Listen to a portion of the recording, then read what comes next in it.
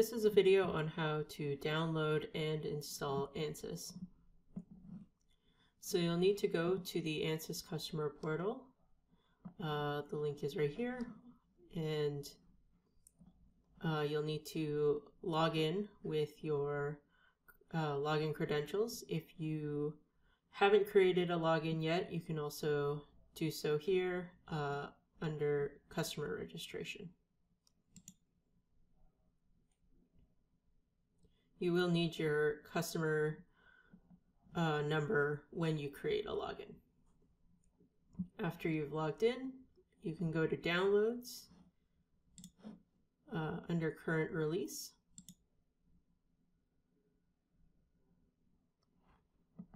And we're going to download the latest release, which is 2019 R3 right now. But as you can see here, you can actually go back uh, to version 17 uh, if you needed to download any previous releases.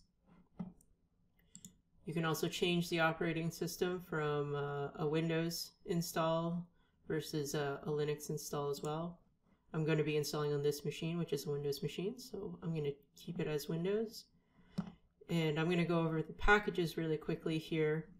Uh, this is dependent on what licenses you have and whether or not you need to uh, install multiple different packages, in which case you can download the full ISO image, which would include um, the packages for structures, fluids, and prep posts.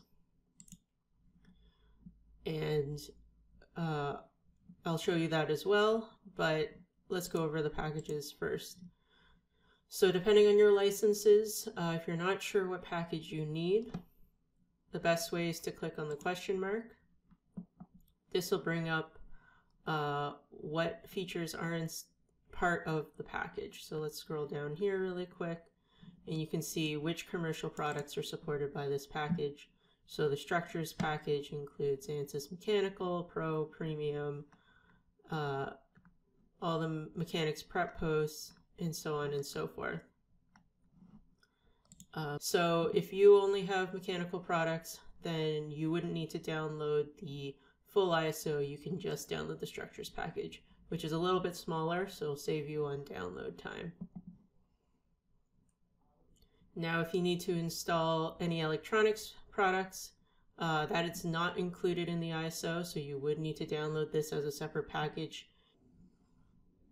Now I'm going to go to the ISO image because I actually want to install uh, a number of different products that um, I would need to install multiple packages for, so it just makes more sense for me to download the ISO. But again, you can click here, which would then outline uh, what products are part of the ISO. And since it's in two parts, I'll start the download now. Okay, I'm going to go over some of the other things you can download in the download section. Uh, if you have any add-on packages, you can download them here uh, separately. If you want to just download the license manager, um, you can download here as a separate package. The license manager installation files are included in the ISO image as well as any of these primary packages. Uh, but if you just need the license manager as a standalone install, you can uh, download that here. Similarly with RSM, uh, if you just need a standalone installation for RSM, you can download that here as well. So this is uh, good for if you're setting up a cluster of multiple machines and you have a number of just um, slave nodes that just need uh, RSM function and don't need any of the solvers, uh, then this is a much smaller package to install. Uh, you'll also find the academic packages all the way down here. These are the commercial packages up here.